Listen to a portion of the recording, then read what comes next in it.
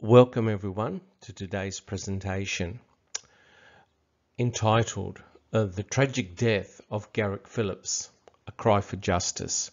Uh, this is going to be a two-part presentation and today I'm going to be starting off with part one. My name is Dr. Silkman and I'm from the Foul Play team. Welcome. The question I'm going to be asking today is who killed 12-year-old Garrett Phillips.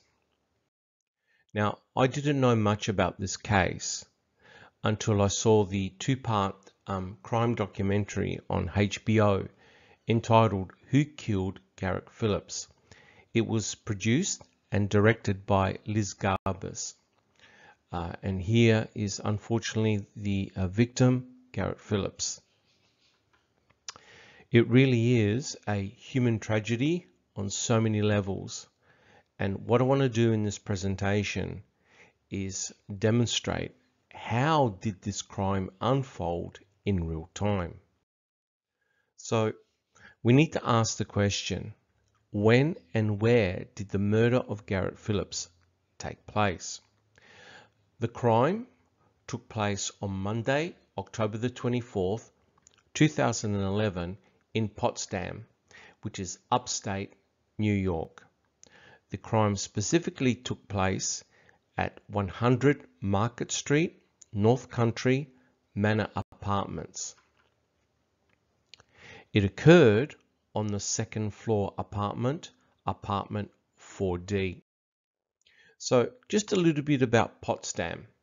Potsdam is in St. Lawrence County, upstate New York. And if you have a look over here on the map, Potsdam is pretty close to the Canadian border. It's in St. Lawrence County. Now, in 2010, um, the racial makeup of the village was determined to be 91.6% of the population being white, 2.5% of the population being black or African American. At that time that the census was uh, done, there were 9,428 people living there. Uh, also in Potsdam, there are four universities, and this provided a diverse culture, especially amongst the students, as can be seen here. Now, I want to introduce to you two very important ear witnesses. And these two are the neighbors to the second floor apartment 4D we have Marisa Vogel and Sean Hall. Now, we had Tandy Cyrus, Garrett Phillips, and his younger half-brother, Aaron Collins, had lived in apartment 4D. The family had lived there since mid-August 2011. Uh, this was an ideal uh, apartment to be in because it was actually close to Potsdam Public School Complex. Now, there were also another set of neighbors which were very important in this narrative. And these were the neighbors that lived behind the complex. Now, I want you to pay close attention to this particular window that's been outlined in red. And Shannon Harris uh, and her boyfriend, uh, Andrew, uh, lived behind the apartment complex with his family. So you can actually see the apartment complex here denoted by a red arrow. So you had um, the other two neighbors who were next door neighbors who lived in the complex and you also had neighbors who lived behind the complex. So let's start the narrative and this is occurring in real time. So Marisa Vogel had arrived home at 4.20 p.m. She had watched TV with Sean uh, in their bedroom at 5 p.m. Now, Shannon and Andrew, they were changing a car tire at the back of the apartment complex at 5 p.m. Now, Shannon had heard multiple noises and kept looking up at this particular window but she could not see anything. Andrew at the time was underneath the car with a jack because they were changing a tyre. Now, let's have a look at both Marisa Vogel and Sean Hall. Both Marisa and Sean heard running and then a crash, and there was silence after the crash. They heard a moan for help, and it sounded like oh or no. Uh, both of them said that it was definitely coming from a child's voice. It, sound, it sounded scared, and they heard the word help. All of this commotion was coming from apartment 4D. So, Marisa was very concerned with what she heard. So Marisa went out of her apartment and knocked on the door to apartment 4D. She heard a noise coming from behind the door and she heard a click which sounded exactly like a lock clicking. So Marisa Vogel is obviously concerned with what she heard. So at 5.08, she calls the uh, police dispatcher in the Potsdam Police Department. Now remember, all calls are time stamped. So Marisa Vogel calls the police dispatcher at 5.08 p.m. Now, Officer Wentworth, he responds to the call out. He arrives at the apartment at 5.14 p.m. and he listens at the door. He doesn't hear any noise. Then he knocks and he hears a sound like someone starting to walk around. Now, note this is six minutes have transpired uh, since Marisa had called the dispatcher. Now, the big question, and this is something that's going to haunt Officer Wentworth for many, many years, is who does Officer Wentworth actually hear walking around the apartment 4D? The police dispatcher at 521 calls Rick Jumis. Uh, Rick Jumis is the actual landlord. So, Officer Wentworth waits at the door. He's waiting for the landlord to arrive in order to gain entry into the apartment. At 5.24, uh, Officer Wentworth knocks on the door with his patrol stick and he calls for the occupant of the uh, unit of the apartment to open up. This is at 524. And Officer Wentworth says that he hears noises that sound like movement from inside the apartment. At 5.33 p.m., the landlord, Rick Jumis, arrives and he opens the door to the apartment it's obvious that Rick Jumis has a spare key in order to open up the apartment. When the uh, officer and Rick Jumis enter into the uh, apartment, they find Garrett Phillips to be in an unresponsive state and he's laying on the floor uh, in his mother's bedroom. And you can see here, because these are all recorded, uh, the officer says, I'm going to start CPR. Now, let's have a look at these particular time events because they're very, very crucial. Now, this is Monday, October the 24th, 2011.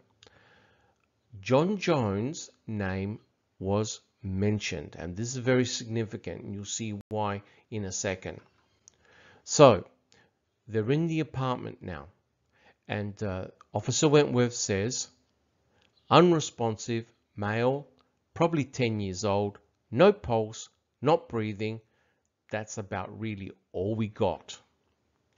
They discover, and the officer says, the mother is Tandy Cyrus.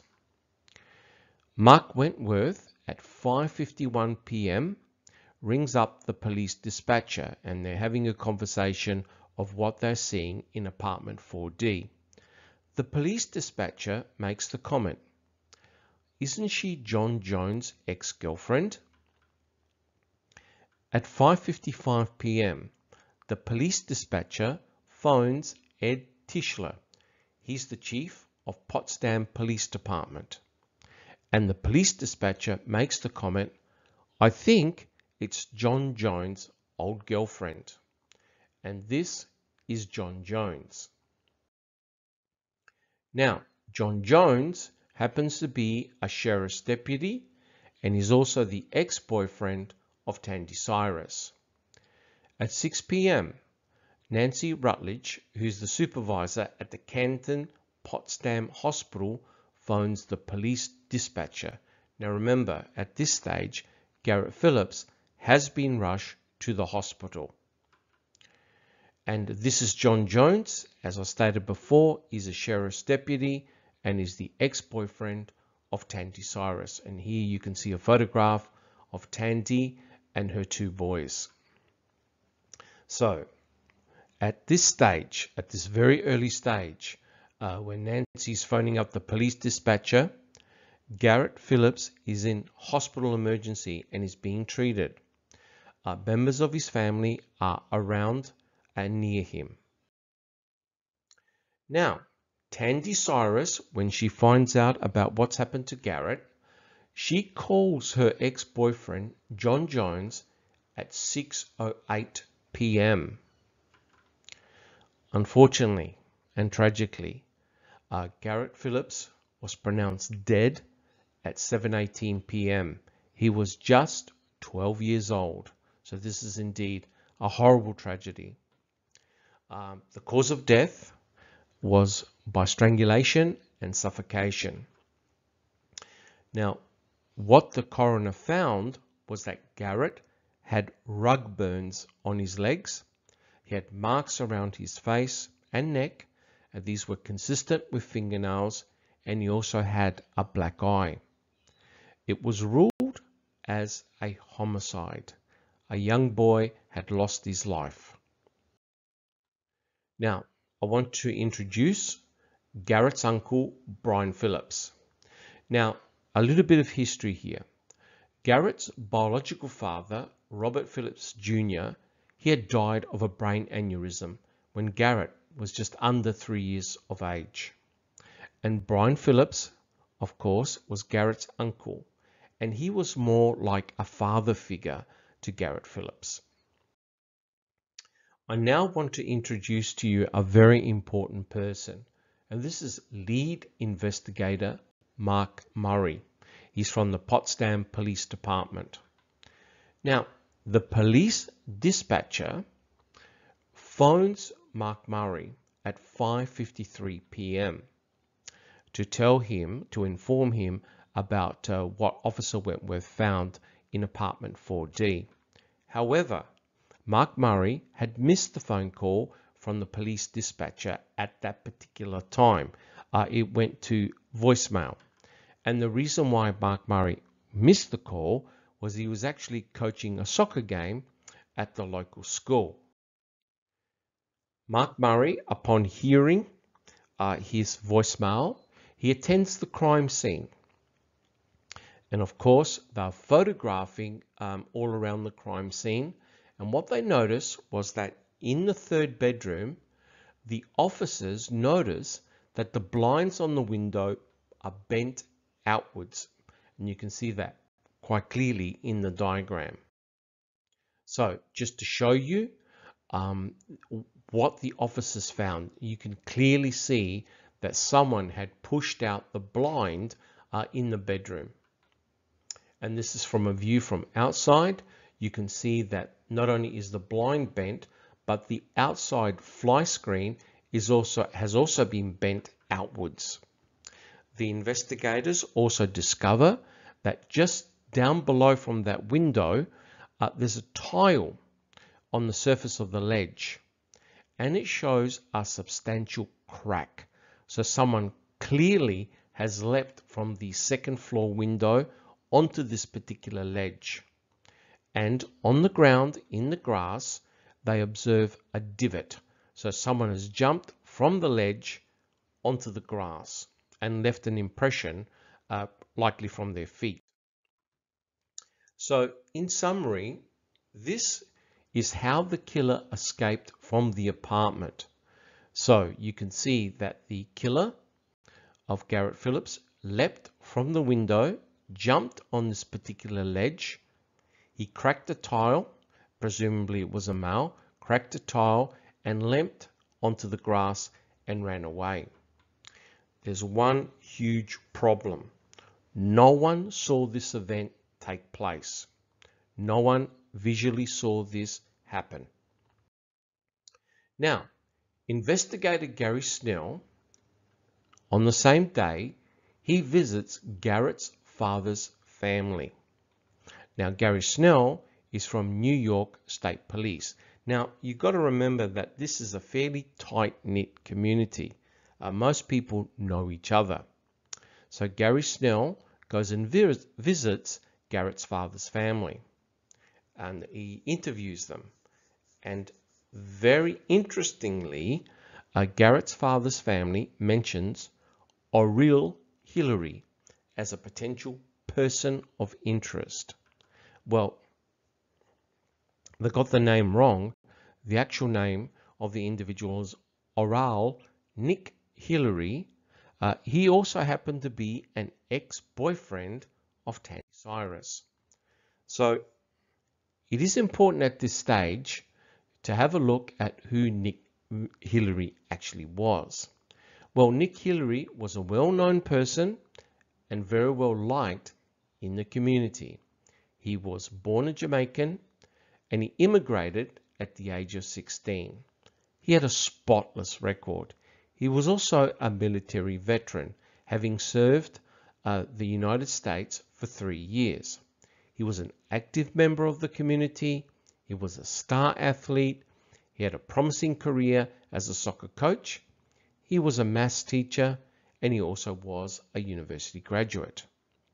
Uh, one of his best friends was Mani Tafari, who was a former teammate. They used to play soccer together. And Mani uh, happened to be an attorney. His other good friend was Ian Fairley, uh, and Ian was an assistant soccer coach at Clarkson University.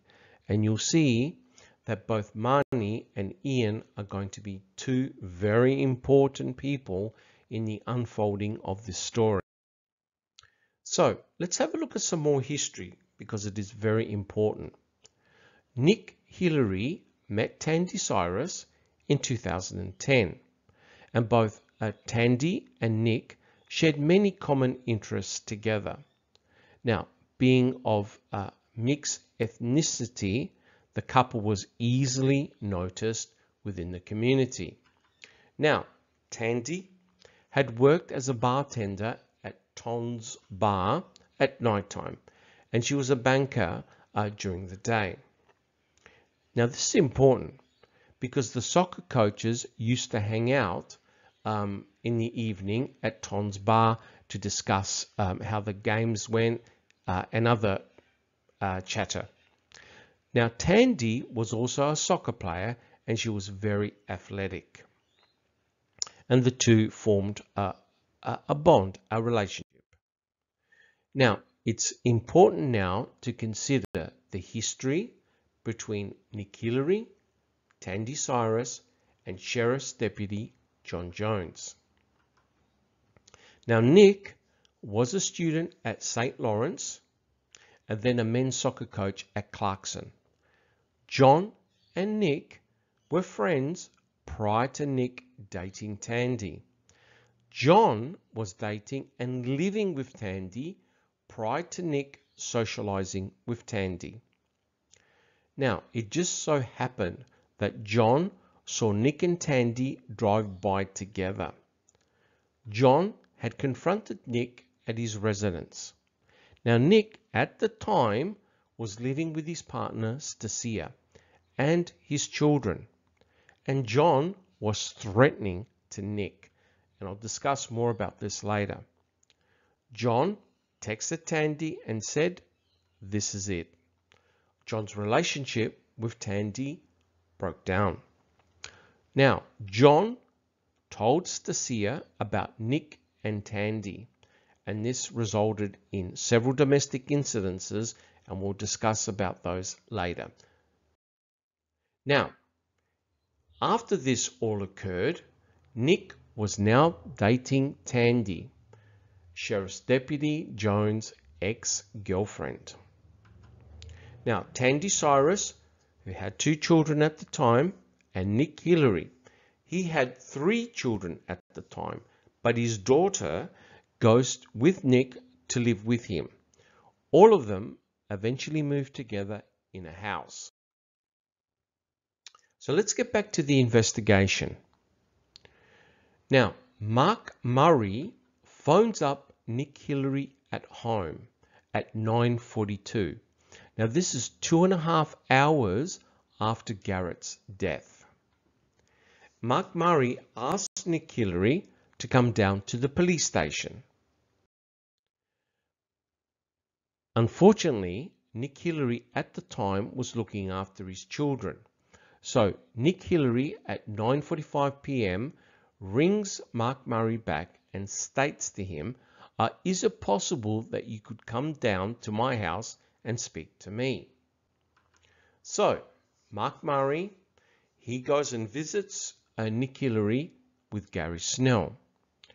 Uh, and they inform him, they inform Nick Hillary that Garrett Phillips had passed away and no reasons were given at all.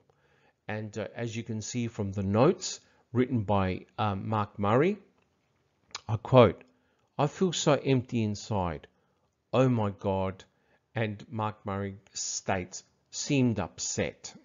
So this has come straight out of the blue uh, when Nick Hillary hears the news. And what's bizarre here, and the question is, was it usual to inform an ex-boyfriend of the death of a child. So Nick Hillary has no idea how Garrett Phillips had passed away. So now we go to Tuesday, October the 25th, 2011. This is one day after the death of Garrett Phillips. At 7.32 a.m. in the morning, Dan Manner, who's the district attorney investigator, phones up Mark Murray to find out what's going on. Mark Murray states in a phone call conversation, I quote, cut off the heads of any accusations that some kids were with him, obviously referring to Garrett Phillips.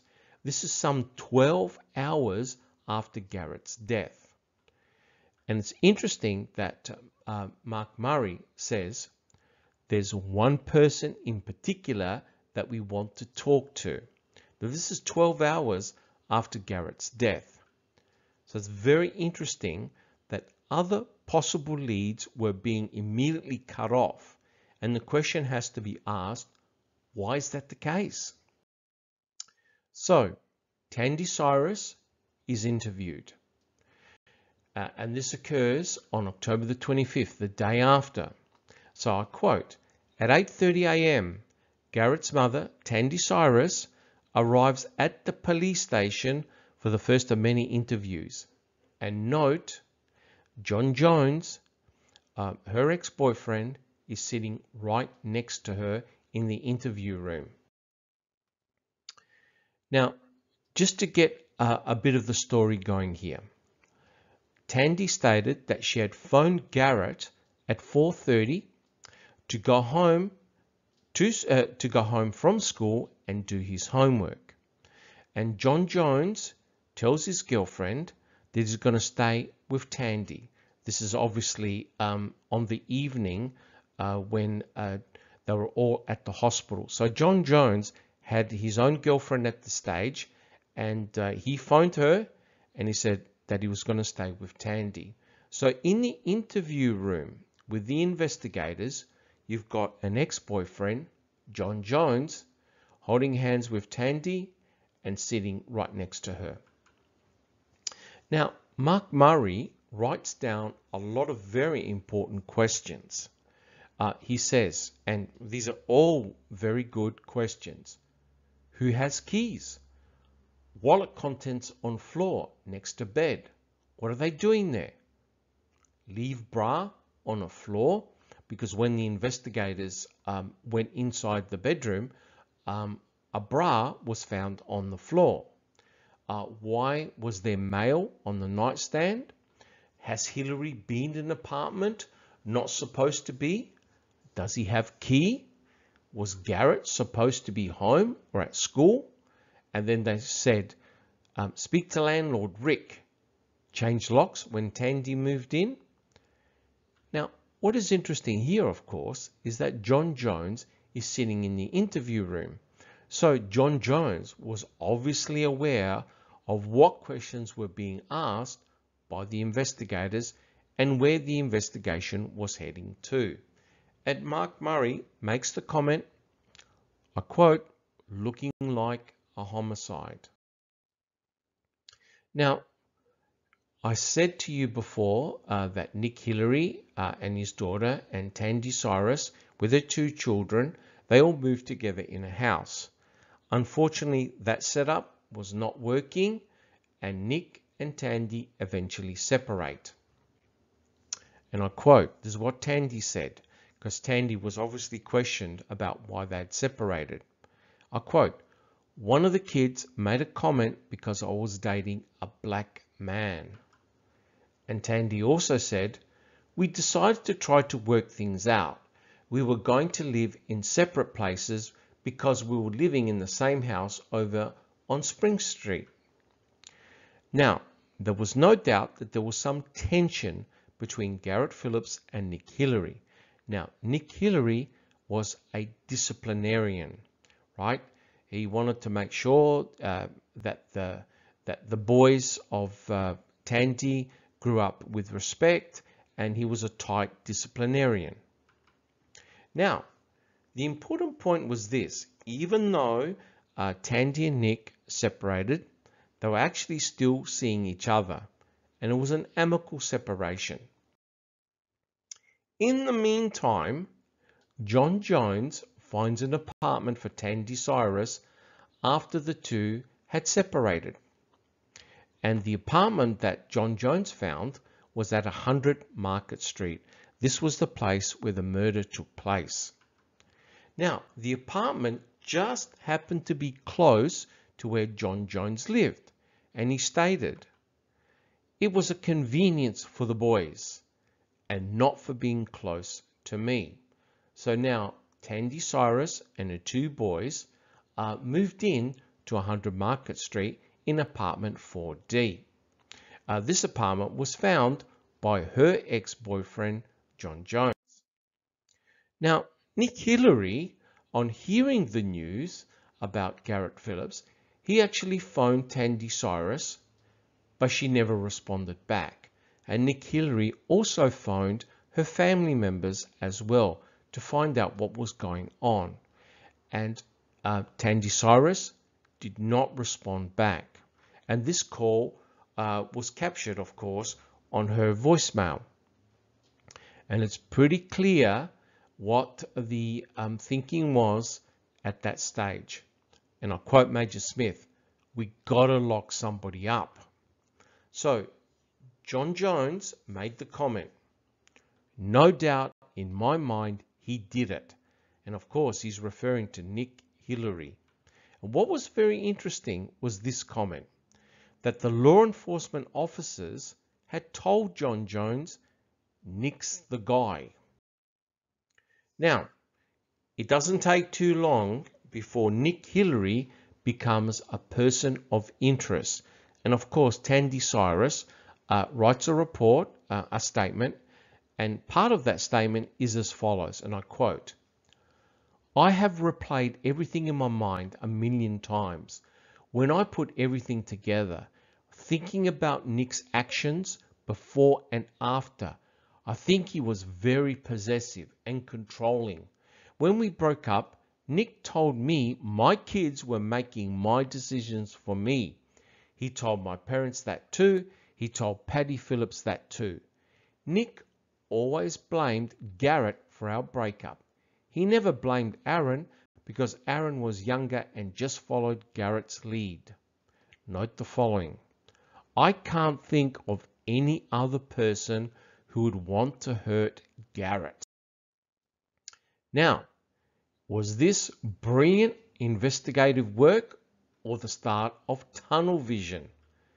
So, at 11.49 a.m., Ed Tischler, remember he's the chief of Potland's uh, police department, he phones up Rick Smith, who's the major of New York State Police, and he thanks him for the hard work that the officers are doing. Now this is 16 hours after Garrett's death. And Chief Tischler makes the comment, we have a strong suspect at this point. He also makes the comment, and we're just trying to get all the ammunition against him at this point. Now, this is before um, any forensic evidence has been tested, nothing. He's making this comment, and I'll quote again, and we're just trying to get all the ammunition against him at this point. Clearly, they're looking at only one person at this stage for the murder of Garrett Phillips. Now, of course, the neighbors are questioned. And you can see here that uh, Shannon Harris uh, heard a screen ripping. And that's obviously the screen from the window. Now, you can see here in the circle uh, where uh, Andrew's car was when they were changing the tire. They had a perfect vantage point of the apartment and the window. Now, this is an important and critical point. Shannon and Andrew left this particular area at 5.20 p.m. They did not see anyone escape from the window. Now, why are these time points so critical? Because they're on their mobile phones and they were checking texts and messages. So they know they had particular timestamps. So they knew what time they arrived at that spot and what time they had left. Now, it's pretty obvious at this stage that they're suspecting Nick Hillary. So, Nick Hillary was actually observed at a soccer game by Mark Murray. He clearly was under police surveillance. So Mark Murray went to a soccer game on October the 25th with a video camera. And he states in a report, he displayed a significant limp on his right leg. Now, why is this significant? Well, if the attacker had jumped out of the second floor window and eventually landed on the grass below, um, he may have injured himself because there's actually quite a height from the window to the ground. So, Nick Hillary is being videotaped and is under surveillance. Unfortunately, many years later, when the police video was actually subpoenaed, it clearly showed that Nick Hillary did not have a limp. And this was commented by both uh, Lisa and Manny, who are both friends and attorneys uh, of Nick. And you can see here a still um, from the police video that was taken one day after the murder. Uh, and this particular uh, police video was released years later. But remember, in Mark Murray's report, he had stated that uh, Nick Hillary had a significant limp. Well, if you ever watched the documentary, you can clearly see that uh, Nick Murray is doing anything but having a limp and is walking freely. And what is disturbing here is that Mark Murray got caught out in a lie. And the question has to be asked, why did he do this? And I think the answer is pretty obvious. So on Wednesday, the 26th of October 2011, Nick Hillary is called to come in. So both Mark Murray and Gary Snell they tell Nick Hillary that the purpose of the meeting was to go over the student roster of Garrett's class. And they, were, and they asked Nick Hillary to come down to the Potsdam Police Department. And again, the reason for doing this was to quote, to go over the student roster of Garrett's class. Nick Hillary saw no issues with this and he agrees to attend the meeting. So what I'm going to do now, and this is very important, is I'm going to go through a couple of stills from the interview I like to call it an interrogation. Now, you've got Nick Hillary here, you've got Gary Snell, and you've got Mark Murray. And they've got a video camera inside the um, room. Everything is being recorded. So um, the interview uh, commences at 8.28 a.m. in the morning. And I'll read some of the quotes. Snell, why don't you just advise him of his information, his rights, and all that? This immediately is a red flag. They're not talking about the class roster at all, and uh, the investigators are talking about uh, his rights. That's a red flag. Another red flag is the following. This from Snell. I mean, she's a good looking girl, obviously, and draws attention. You know what I mean?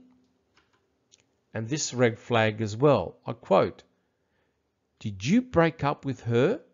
Or did she break up with you? Or what's the deal with how that happened? That's another huge red flag. And you got to remember that the, inter uh, that the interrogators, they'd already spoken to Tandy the day before. Now, Mark Murray says to him, You're not under arrest. Here's another red flag. Snell, I quote, Everybody's a suspect to us. This whole town's a suspect. Okay? All these kids are. And quite clearly, Gary Snell was directly lying to Nick. And you could see the way that Gary was sitting in his chair, legs apart, arms behind his head. This is a very aggressive stance. And you can see that um, Nick Hillary was sitting in the middle between the two investigators. I quote, Hillary says, all right, you just read me my Miranda rights and I'm going to implement my Sixth Amendment. It's pretty obvious that Nick knew exactly what the investigators were up to. So importantly, Nick Murray had the nous to say, uh, Nick Hillary, my apologies, had the nous to say, I'm going to implement my Sixth Amendment. Some more stills from the interview. Murray, I don't think you went there with any intentions to harm him. So as you can see, they're starting to apply the Reid technique uh, on Nick. Hillary, went where? Murray, I don't think you did. Snell, Nick, Nick, it's a 12 year old. Accidents happened. Snell, I know what happened there. Okay? These are all huge red flags. And Nick was definitely aware of what the investigators were trying to do. Snell, aren't you curious as to what Garrett said or anything in his dying moments? Wouldn't that make you curious? So it's pretty obvious that the investigators are lying to Nick at this stage and they're hitting him with the line. Uh, aren't you curious uh, to what Garrett said or anything in his dying moments? Wouldn't that make you curious? And of course, these are massive red flags. And this is your standard Reid technique 101. And of course, the reasons for doing this was that the investigators were hoping for Nick to confess at this stage and to admit his guilt in the murder of Garrett Phillips. Snell, he's a kid who sits in the way of your relationship. So quite clearly, the investigators are trying to come up with a motive for why Nick would want to kill Garrett Phillips. And they're honing in on the fact that there was tension between Garrett and Nick and that that had affected his relationship with Tandy. Hillary, listen to what you're saying to me, Gary. Hillary, you said you knew. You said you have a full idea of what has gone on there. And Hillary states, why am I here then, if you know?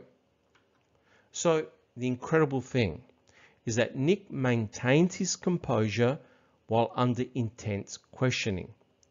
And why shouldn't he?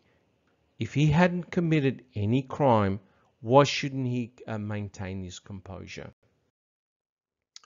Now, Murray states, there's a dead 12 year old kid, and you're telling me you won't tell me when your practice was on or was on? So, Nick Murray, sorry, Nick Hillary gets up and is free to leave. And of course, look what happens. Snell immediately gets up and starts moving towards the door.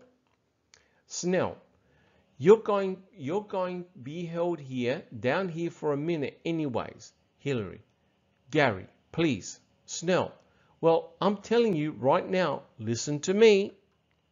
Snell, but in the meantime, we're going to apply for a search warrant to get permission to photograph your body. And if you have a look, Snell is his back is right towards the door. It's clear they don't want Nick to leave and they're desperate to get a search warrant. Snell, you said you want to be helpful. Put your phone down, shut it off, and be helpful with me, okay?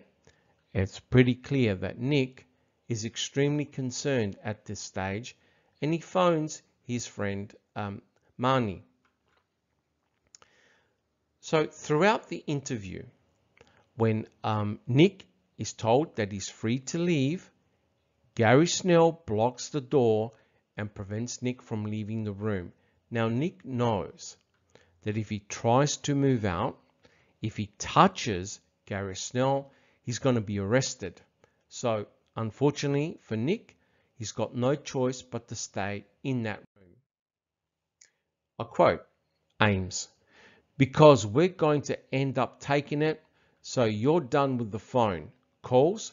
You talk to your lawyer, everything's good. We need your phone. So in addition to calling Mani Tafari, who was his friend and is an attorney, he goes on a seven hour drive from New York City to arrive to Potsdam. Nick Hillary also calls a local lawyer, James Garland. Nick hands over his mobile phone. Also, on that day, they impound Nick's vehicle. Now, they write up a search warrant uh, in order to uh, photograph Nick Hillary's body. And I'm going to read this out. So this is the search warrant. Two, the Potsdam Police Department and the New York State Police or any police officer employed or having general jurisdiction to act as a police officer in the county of St. Lawrence, New York. You are hereby directed to conduct a search of the person of Oral N. Hillary, who is currently located at the Potsdam Police Department, 38 Main Street, Potsdam, New York, including but not limited to the clothing currently worn by Oral N. Hillary, which includes a pair of green colored sweatpants, the contents of the pockets, including but not limited to the cigarette butt wrapped in a piece of paper, a hooded maroon colored sweatshirt, a digital wristwatch, a pair of white colored socks, and a pair of white colored sneakers. Fingerprints, including fingerprints and palm prints to be taken. Photographs of his person and any evidence seized for the following designated property or kinds of property for the purpose of seizing same. Any evidence of struggle including but not limited to abrasions, scrapes, scratches, bruises, or injury which would be consistent with injury sustained during the homicide of Garrett J. Phillips or the exit from the homicide scene thereof.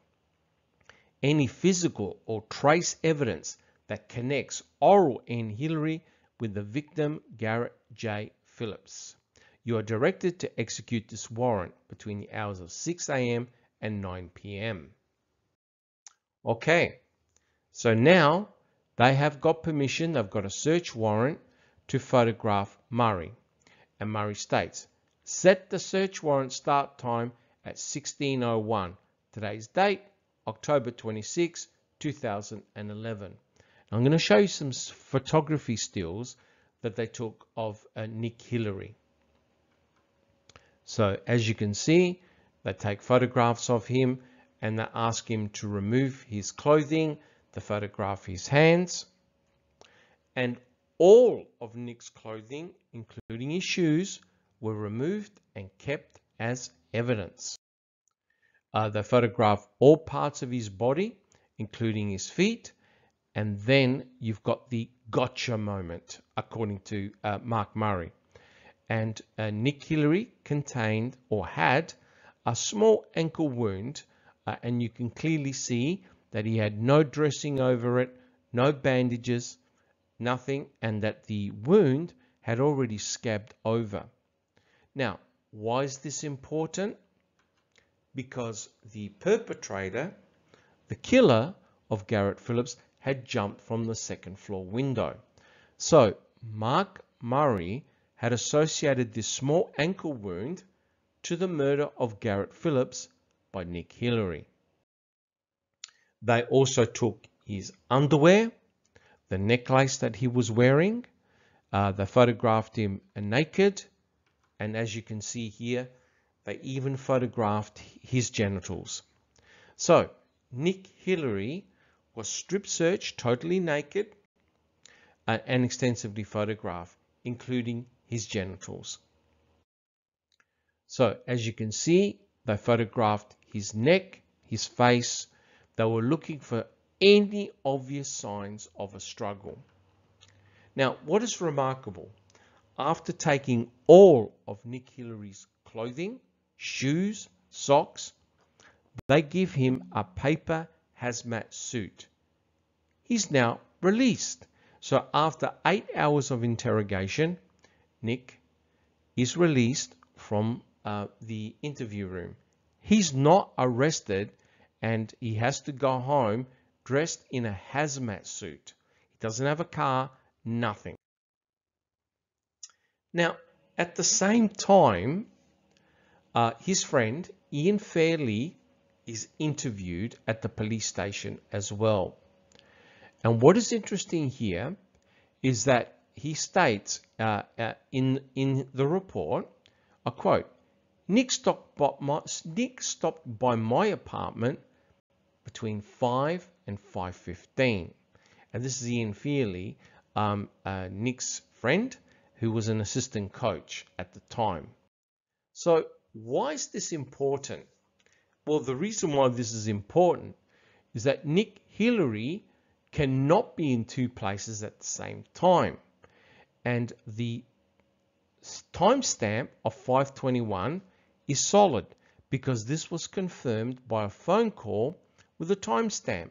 So uh, Fairley had seen Nick Hillary uh, in his house at 521. So you can see here on the right hand side uh, where the crime scene was and where Nick Fairley's house was. So uh, Ian stated that he saw Nick Hillary at 521 at his house. So why is this important? This is why it's important. Because if you remember, Officer Wentworth heard movement in apartment 4D at 524. The sound was faint, but it was if a single person was walking around in the apartment. So as you can see here, no one was seen jumping out of the window from 450 to 520. So this presented a huge problem for the investigators who were trying to implicate Nick in the murder of Garrett Phillips. Now, the investigators knew the importance of Ian Fairley's um, deposition. Ian, of course, was Nick's uh, alibi, and um, years later, Ian Fairley wrote an affidavit, and I'm going to read this because it is very important. A quote, I, Ian Fairley, being duly sworn, deposes and says, On October 24, 2011, at about 8 p.m., I was at Oral Nick Hillary's apartment when police officers called Mr. Hillary on his cell phone and requested that he go to the station. Mr. Hillary responded that he could not at the time as he had to supervise his children. Later that night, three police officers arrived at Mr. Hillary's apartment and spoke to him for 20 minutes. On October 25, 2011, I was at Clarkson University when I was called into Kelly Norman's office where investigators Peets and another police officer questioned me about Mr. Hillary. I was asked specifically what I knew about Mr. Hillary's relationship with Garrett Phillips. On Wednesday, October 26, 2011, I was called and asked to come to the Potsdam police station. Once I arrived, Investigator Peets and another police officer took me to what appeared to be an interrogation room. I was asked, uh, I was asked me about my activities from Monday afternoon, October 24, 2011 onwards. I was also asked to write a statement regarding those activities, which I did. The next day, Thursday, October 27th, I was asked again to come to the Potsdam police station and I did. I was told by the officers that the district attorney was upstairs and was prepared to write an obstruction of justice charge for my arrest. Investigator Peets then said to me, I quote, we fucking know Nick did it. We know he did it. Don't stand up for this guy. You don't owe him anything. Unquote. Investigator Peets further stated that while in the ambulance, Garrett Phillips briefly regained consciousness and said, Nick. Investigator Peets then went upstairs to see if they would hold me. He came back to the interrogation room and said, You won't be charged. After about one or two weeks, Officer Murray and another police officer came to my home to further question me about Mr. Hillary in relation to the death of Garrett Phillips. I was told by the police officer Snell that if I changed my statement from October 26, 2011, I would not get in trouble. At some point later, Lieutenant Mark Murray and Officer Snell came to my home and showed me a video of Mr. Hillary in a car and asked how this affects me. In April 2012, I was asked once again to come to the Potsdam Police Department. Again, I was asked about Mr. Hillary with regards to Garrett Phillips. I was accompanied by my attorney on this occasion. I swear or affirm that the above and foregoing representations are true and correct to the best of my information, knowledge, and belief. It's pretty clear that the investigators were intimidating Nick's alibi. All right. Thank you so much, guys. This is the end of part one. I'm Dr. Silkman from the Foul Play team. Please join me soon for the conclusion of this tragic case. The tragic death of Garrett Phillips, a cry for justice. Thank you very much.